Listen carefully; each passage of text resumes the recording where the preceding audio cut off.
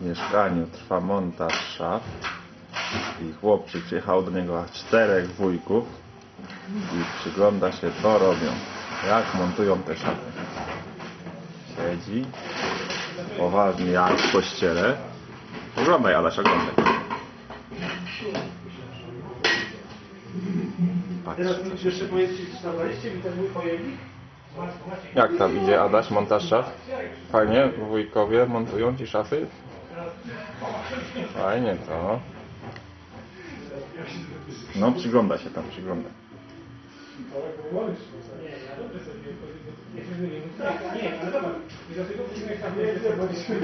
Zobaczymy co tam się dzieje. No, To będziemy w domowym archiwum. tu wujek, tam drugi wujek. Ty się przyglądasz jak oni montują te szafy. A tu się przez...